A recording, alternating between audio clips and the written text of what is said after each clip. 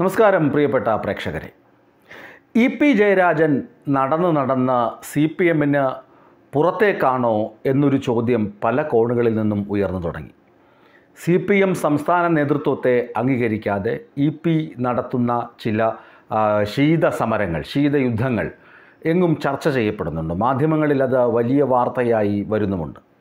ഏറ്റവും ഒടുവിൽ L D F convener സ്ഥാനം വഹിക്കുന്ന E P Jayarajan L D F സമിതിയിൽ അതായത് അവസാനം നടന്ന എൽ ഡി എഫ് യോഗം ഏപ്രിൽ അഞ്ചിനായിരുന്നു. ഇനി വരുന്ന ഇരുപത്തിരണ്ടാം തീയതിയാണ് ഇടതുമുന്നണി യോഗം ചേരുന്നത്.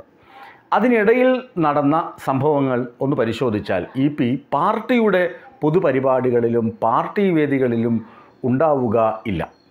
പലപ്പോഴും ചികിത്സാർത്ഥം ആണ് അദ്ദേഹം മാറി നിൽക്കുന്നതെന്ന വിശദീകരണം വരും. എൽ ഡി ഇപ്പോൾ നടന്ന അതായത് കോഴിക്കോട് കഴിഞ്ഞ ദിവസം നടന്ന ഏകീകൃത സിവിൽ കോഡുമായി ബന്ധപ്പെട്ട് നടന്ന ദേശീയ സെമിനാറിൽ ഇ പിയുടെ അസാന്നിധ്യം വളരെ ശ്രദ്ധിക്കപ്പെട്ടിരുന്നു.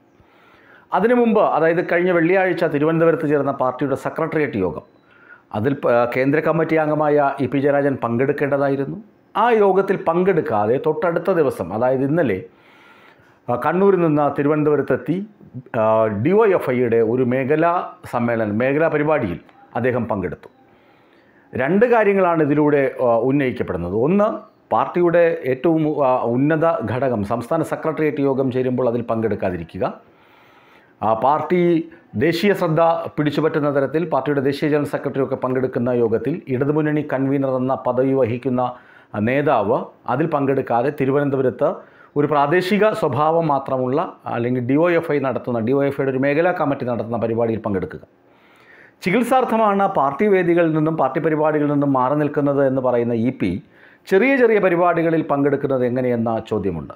ഇത് പാർട്ടി പ്രവർത്തകർക്കും അതുപോലെ തന്നെ പാർട്ടി നേതൃത്വത്തിനും നീരസം സൃഷ്ടിക്കുന്നു എന്ന കാര്യത്തിൽ തർക്കമില്ല.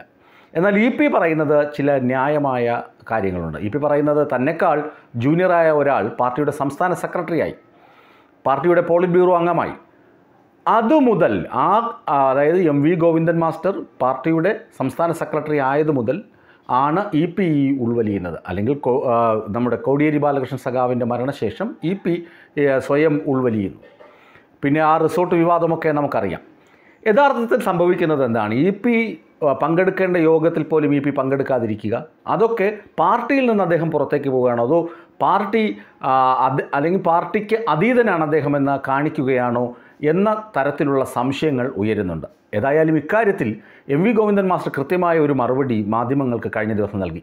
കാരണം ഇങ്ങനെയുള്ള സംശയങ്ങൾക്കും നീരസങ്ങൾക്കും ചോദ്യങ്ങൾക്കുമുള്ള ഉത്തരം ഇ പിയോട് തന്നെ പറ ചോദിക്കണം. അല്ലെങ്കിൽ ഇ പി തന്നെയാണ് ആ ചോദ്യങ്ങൾ ചോദ്യങ്ങൾക്ക് ഉത്തരം പറയേണ്ടത്. അല്ലാതെ താനല്ല അദ്ദേഹത്തോട് തന്നെ ചോദിക്കൂ എന്ന തരത്തിലായിരുന്നു എം വി ഗോവിന്ദൻ മാസ്റ്ററുടെ മറുപടി. ഇ പി പറയുന്നത് തന്റെ തന്നെ പ്രസംഗിക്കാൻ ക്ഷണിച്ചിരുന്നില്ല. ഇടതുമുന്നണിയുടെ മറ്റ് നേതാക്കളെയൊക്കെ പ്രസംഗിക്കാൻ ക്ഷണിച്ചപ്പോഴും തന്നെ കോഴിക്കോട് നടന്ന പരിപാടിയിലേക്ക് ഔദ്യോഗികമായി ആരും ക്ഷണിച്ചിട്ടില്ല. അപ്പോൾ താൻ അവിടെ പങ്കെടുക്കേണ്ട ആവശ്യം ഇല്ല എന്ന ന്യായീകരണമാണ് ഇ പി ഏകീകൃത സിവിൽ കോഡ് സംബന്ധിച്ച യോഗത്തെക്കുറിച്ച് പറയുന്നത്. ഏതായാലും ഇ പിയുടെ അസാന്നിധ്യം പാർട്ടി വേദികളിൽ ചർച്ച ചെയ്യപ്പെടുന്നുണ്ട്. ചില ആളുകൾക്കെങ്കിലും നീരസം ഉളവായി തുടങ്ങിയിട്ടുണ്ട്.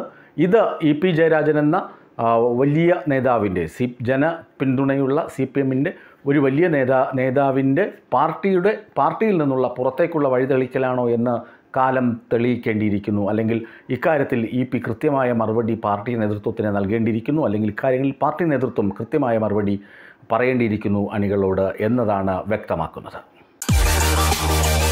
കൂടുതൽ വാർത്തകൾക്കും വാർത്തകളിലെ വസ്തുതകൾക്കും ഈ ചാനൽ സബ്സ്ക്രൈബ് ചെയ്ത് ഫോളോ ചെയ്യുക.